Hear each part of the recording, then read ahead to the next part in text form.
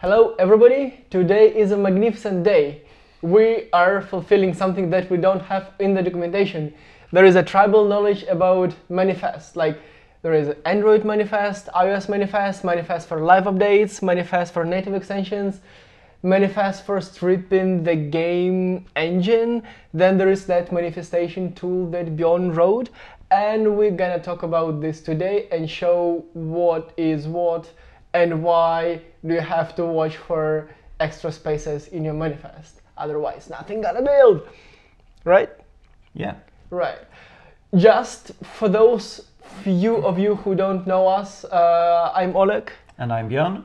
and we work in Defold. So android manifest ios manifest stripping manifest native extension manifest are those different manifests or is it the same manifest?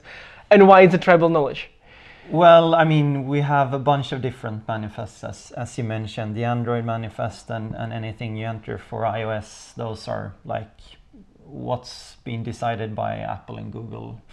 Uh, but uh, for Defold, we have a couple of different ones, as you mentioned. Uh, the one we're focusing on today is the app manifest. And the app manifest is a file that you uh, put in your project, link to from game game.project, and it will allow you to customize your engine, regardless of if you use native extensions or not. So Okay, so there is a manifest for app manifest for game engine customization. The iOS manifest is a totally separate thing. Android manifest is a totally uh, totally separate thing. yeah, we generate those. I mean, you can have your custom Android manifest file, but we generate one, and it's from the next release uh, available from the built-ins. So the manifest that we are not covering today, do we have that in the documentation? The Android manifest, yes.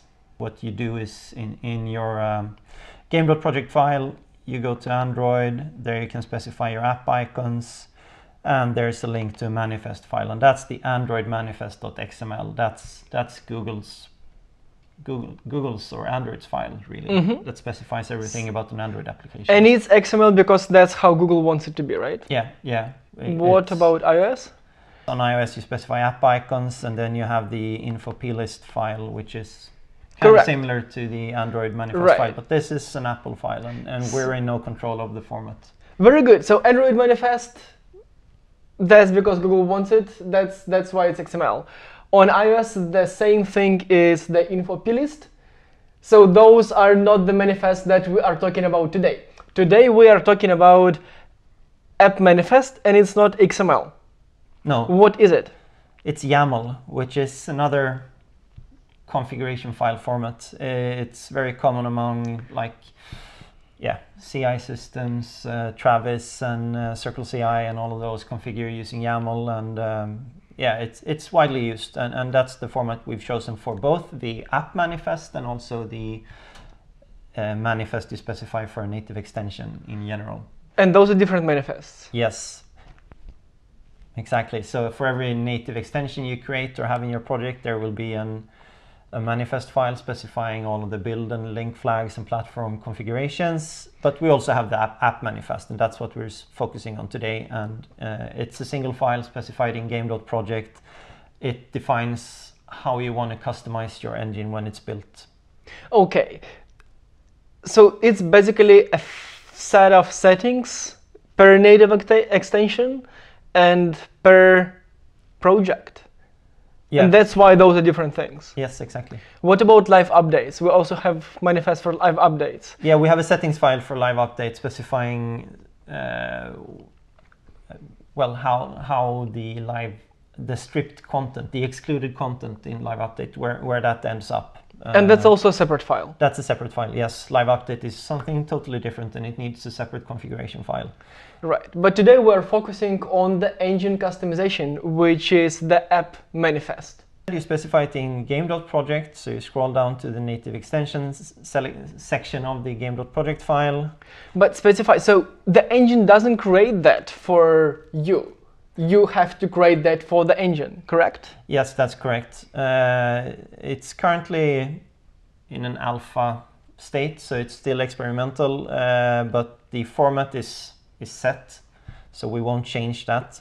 Uh, but the way it's created will will be simplified in the future. You you, you want to be able to create your uh, manifest file from within the editor, but currently that's not possible. For now, you need to create the file on your own, and then specify it here under native extension app manifest, and there's a, a browse tab browse Yeah. button here. Uh, but so how to create it? Before we speak about how, I guess we should cover when. When is that our users need to care about that browse button?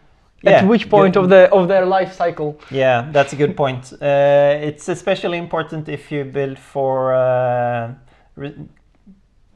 size restricted uh, platforms. Like if you want to do an instant game, you really need to care about the size of your application. If you do a mobile game, the size of your application is also important.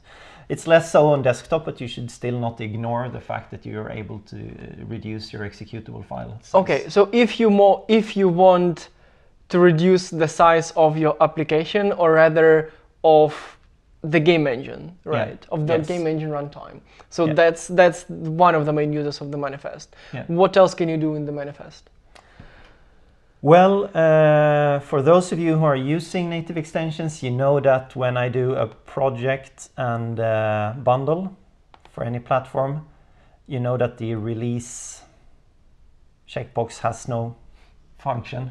If you have the manifest, If- or unless you have the manifest. Unless you have the manifest file, the release checkbox will not do anything. It will be ignored if you have a native extension in- in your project because that will always result in a debug build, even though you might check the release checkbox. So that would be another use case for the app manifest, removing the debug version of the engine and, and replacing it with a, a release version. And most of you actually do use native extensions. So when you browse the asset portal and just add extensions, sometimes you'll add not just Lua code, but also C++ or other system code, and meaning that you are using native extensions, meaning that when you bundle, bundle your application, you get the debug version of the game engine bundle in, unless you perform the actions further shown in this video. Yeah, that's correct. I guess like 50% of the assets use native code. So, uh, So okay, stripping the engine, uh, removing the debug version of the engine, or rather replacing it with the release version of the engine. As what are the main difference between release and debug version of, of the runtime? Uh, the differences are small, but I guess the the most important one is that uh, you still get uh, console log output in a debug build, and you probably want to use that while while Developing. developing your game. But in a release version, you don't want all of the the, the print statements you have in your code or the logs from um, from your native extensions to actually show up in, in logcat or, or in a terminal if you if you run your game that way. So that that's like the main that's one of the most important differences. Okay, two Uh, reasons to use the manifest. Okay, so um, so how to actually create uh, a manifest file? Uh, I guess the easiest way nowadays is to use an online tool that I created, uh, the manifestation tool. Um, I'll show it here. It's, we conveniently don't have the link from the docs. Uh, I'll make sure that that we update the docs so it links to to this and other rel- relevant information. But this, I'd say, is the easiest way to create a manifest file now, and it's up to date with what what we currently support on all our build servers. So Defold app manifest generator. This tool generates Defold app manifest that can be used to build a custom engine. Mhm. Yay. Yay. So there's a bunch of settings here. So if I want to exclude physics, I tick that checkbox. So if I don't use Box2D or bullets in my game, there's no need to have the physics engine in included in the uh, in the runtime. That would save us quite a bit of, of- of, Kilobytes. uh, kilobytes, yeah.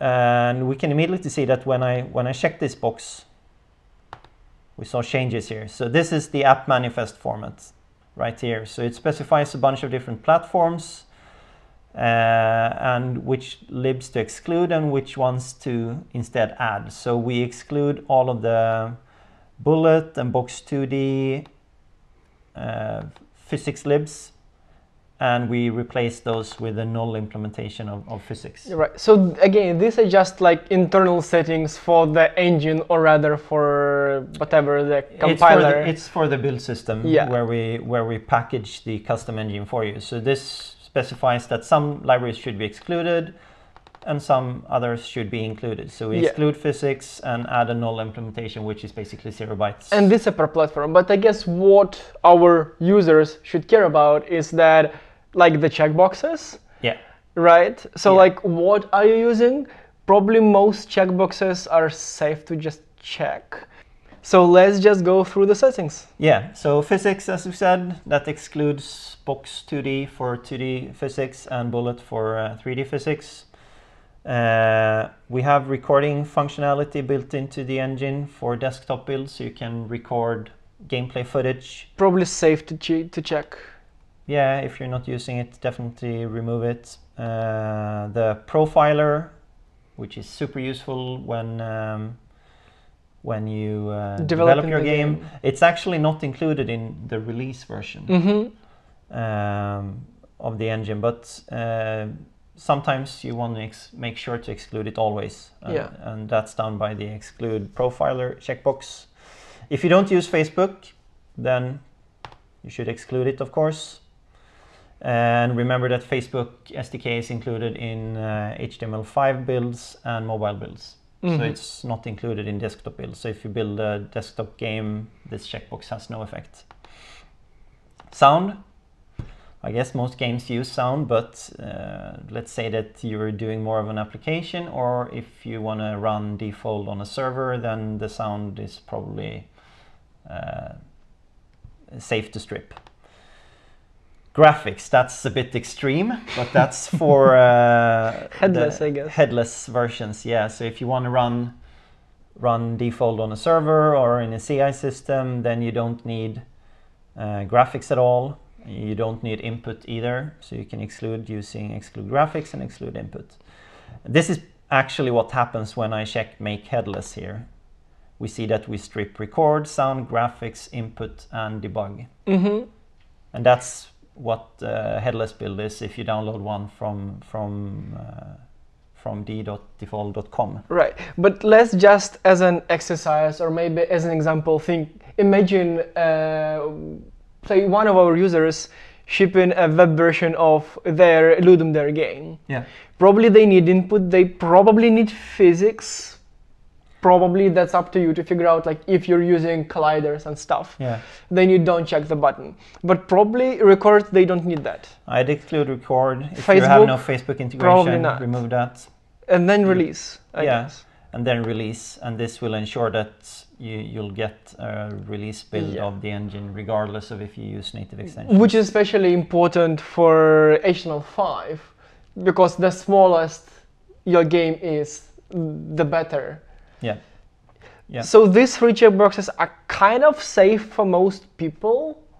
Yeah, and they should mo- most of them web. should be self-explanatory. I mean, exclude physics. Yeah. That's Okay, so That's we have the three checkboxes checked. What do Yeah. we do now to for this to, to, to take effect? well. The the simplest thing is to to just click download. And what, what do we do next? Now I will get a generated.app manifest in my download folder. Uh-huh. So here we have the generated app manifest.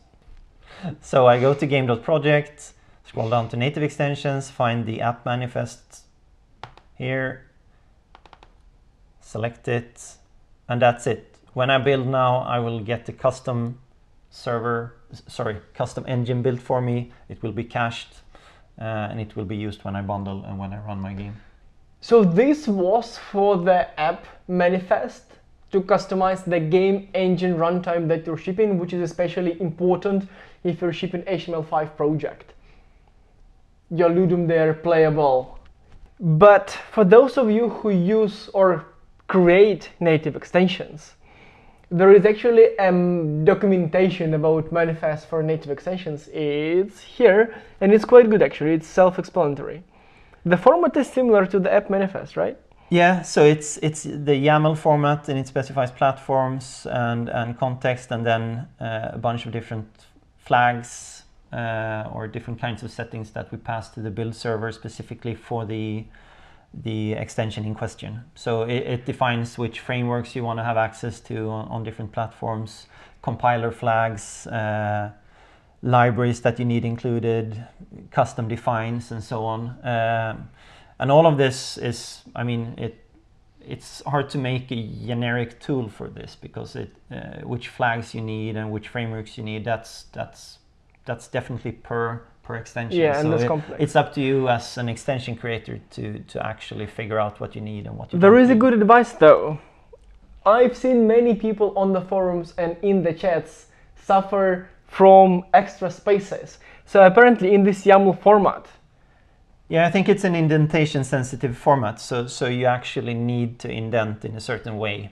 Uh, but if it's spaces or tabs, doesn't matter. But you, you need these to be like in this staggered uh, staggered way. So platforms, and then uh, indented comes the different platforms, and then even more indentation, and then even more. So, so, So- that that's important to follow, and that's the YAML file format specification. You need to follow that if you want to create an extension manifest or an app manifest. yeah, watch your invisible symbols. Good. So we've covered all the manifests that we have in the engine. We explained why are all those manifests different manifests, incompatible formats and incompatible overall, but like we just called them manifest for conveniency. And because that's what it is, like a settings file. And it's all so far. Yeah. Is it good? So if you have any questions, go ask us. If you need more videos on this or any other topic, just request and we'll record that. Thanks for being together with us Thank you. and thanks for using Defold. See you on the forums. On Yeah. Defold, for Defold. Well, what worked for you, but yeah. So manifest.